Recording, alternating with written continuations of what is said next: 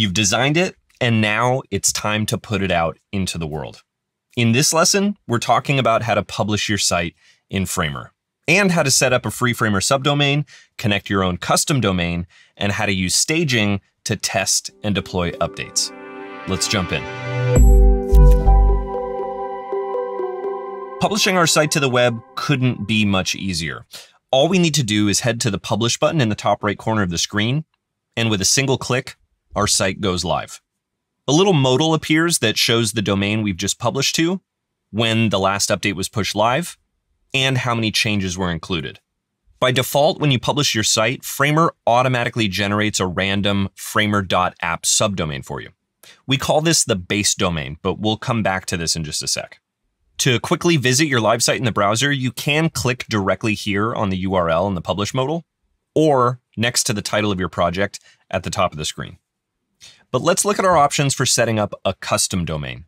Since we haven't set up a custom domain yet, we can see here within the publish modal itself that we have an add domain button, which is technically just a quicker way to jump into the site settings and get to the domains tab.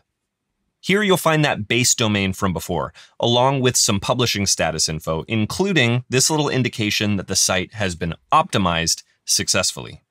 Framer sites are built with React, which is based on JavaScript, and usually needs a moment to load in the browser.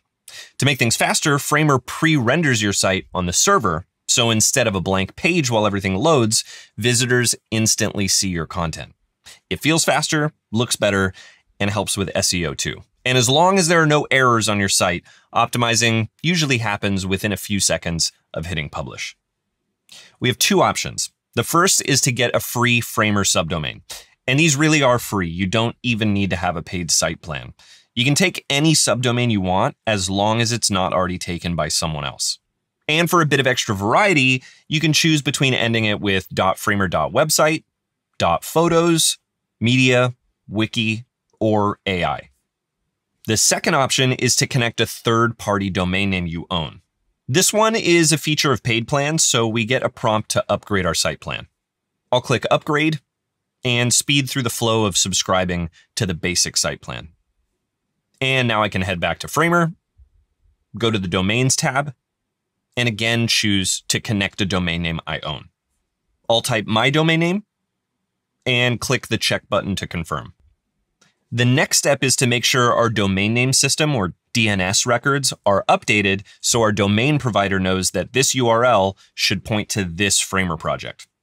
For some domain providers, Framer supports AutoConnect. Framer checks whether your domain is hosted at a domain provider that supports it, and then gives you a button to connect. Then you'll log into your domain provider and Framer will hand off the DNS settings automatically. But let's say we're using a domain name with a provider that doesn't support AutoConnect. In this case, we'll have to take these DNS settings that Framer gives us and copy them over to the DNS records of our domain provider. I'm going to click to copy this first IP address since I'll need it again in a moment. Then I'll head over to the DNS settings for my domain provider, which in my case here happens to be GoDaddy.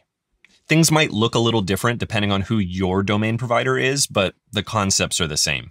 We've just got to add an A record with the name set to an at sign, and then paste in that IP address that I copied a moment ago from Framer. Then I'll repeat the process for the second A record, copy that IP address from the Framer settings, head to my domain provider and add a new record, set the type to A, the name to an at sign, and then paste in that second IP address. Then for the third and final record, I'll click to copy sites.framer.app, head back to GoDaddy, add a new record, this time set it to CNAME with a name of www, and then paste in sites.framer.app and hit save. In my case, it looks like there's already a conflicting CNAME record in my DNS settings, but it's no big deal. I've just got to go and delete that one first. Then I can come back up here and hit save, and we're all set.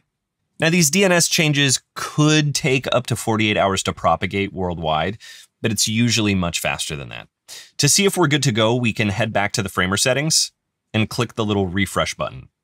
Some records might take longer to propagate than others, but when they're good to go, they'll disappear. If you end up with a record or two that's left hanging, you can click on the overflow menu and choose refresh domain status. And boom, Framer's now connected to our custom domain. Now we can click this link to test it, and there we have it. Our site is live at the custom domain we connected. Now when we make changes to our site and we're ready to take them live, we can head back to the publish button, and within the publish modal, we can just click update. Done deal. Changes are live pretty much instantly. But let's say we don't want these updates to go live instantly. What if we want to test a new version of our site on the web in the browser before the whole world can see it? This brings us to a feature called staging. Earlier, when we first published, Framer automatically assigned us that long base domain. And if we head back to the domain settings, you can see it still exists and it always will. By default, both the base domain and our custom domain point to the latest published version of the site. So what's the point of having the base domain? Well, by enabling staging, we can use this base domain to preview the latest published version of our site. Then, separately, decide which version to deploy publicly to our custom domain. If you're on a site plan that includes staging, you can head to the Staging and Versions tab of the site settings and select the Enable Staging option. Now the latest update published will always be staged at the base domain, and we can click Deploy to choose which version we want to be live at our custom domain. The Publish modal also now gets split into two tabs. The Staging tab is where we push our updates to the base domain to test them out. Then separately, we can go to the Production tab to deploy the latest version to our custom domain. Or we can roll back to a previous version on the Staging and Versions tab by clicking Deploy next to the version we want to push live. So if the homepage overhaul I started working on this week is going to need a bit more work, I can deploy this version from last week in the meantime. And if at some point you decide, you know what, I just want to take this whole site down, you can go to the General tab of the site settings and look for the red Unpublish button. You'll get one last chance to confirm if you really want to remove this site from all domains and make it inaccessible to visitors. And if instead you just need to remove or switch up your domain name, you can always head back to the Domains tab, click that Overflow menu button under Custom Domain, and choose Remove Domain.